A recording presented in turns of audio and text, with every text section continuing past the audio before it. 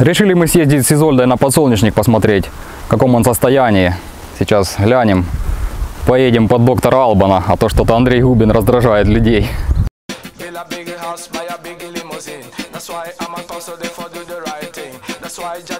Всем привет, друзья! Вот мы приехали на первое поле подсолнечника.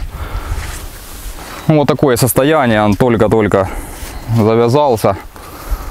Сегодня 4 июля, Запорожская область. Поле огромное, но еще до цветения далеко очень. Это поле находится 2,5 километра от пасеки, гектар 100. И вчера, 3 июля, прошел сильный ливень. Целый день шел, смотрите, сколько воды налило. Влаги много, буквально заливает в этом году. Все. Это напоминает мне ситуацию 2010 года. Мы стояли на кочевке, и даже коллега переживал тогда, что много влаги. И будет э, сахаристость нектара понижена, и поэтому пчелы не будут брать мед, э, нектар с подсолнечника. И не будет меда. Ну, тогда все прошло нормально, хоть и влаги было много. Меда тоже, в принципе, качали нормально. Тут вообще реально грязь. Изольда уже вгрузла на каблуках. По колено.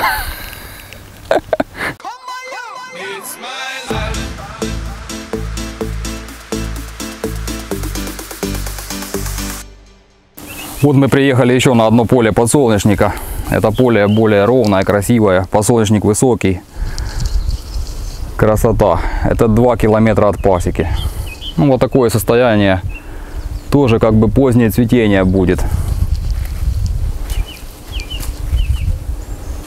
Это еще недели где-то две, две с половиной минимум до цветения, если не больше.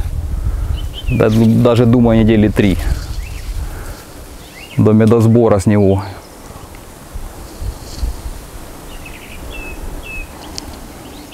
Зеленое море тайги. Почему же позднее цветение подсолнечника это плохо? Потому что чем больше дней в июле он цветет, чем раньше он зацветает, 3-5 июля, тем больше дней продуктивных для медосбора. В августе обычно подсолнечник э, уже не так выделяет из-за холодных ночей. Запорожская область, в других регионах, думаю, точно так же. 3-5 августа все обычно, 7 заканчивается медосбор. Очень редко бывает, что до 10 числа носят. И только один год я за всю свою практику, за 16 лет помню, 19 августа был взяток с подсолнечника, в степи мы стояли, плюс 1 килограмм. Но это очень бывает редко. Поэтому чем раньше зацветает подсолнечник, тем лучше. Идеально, чтобы он зацветал, это раннее цветение 1-3 июля. Уже выделял нектар. Среднее цветение это считается 10-12 июля, 7 с 7 по 10 нормальный срок. И позднее цветение это 15-17 июля.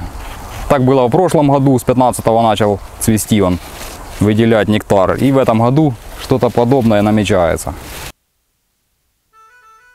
И вот самое раннее поле подсолнечника возле пасеки, буквально полтора километра, появились так называемые первые маячки. На днях я объездил по Запорожской области по трассе десятки километров, более ранних полей я не видел. Какая-то пьяная пчела, после футбола, наверное.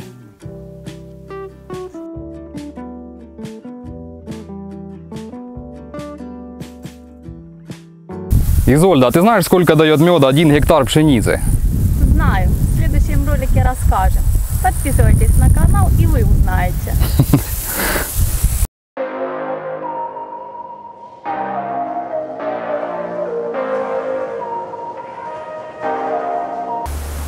Всем спасибо за внимание, всем хорошего медосбора с подсолнечника.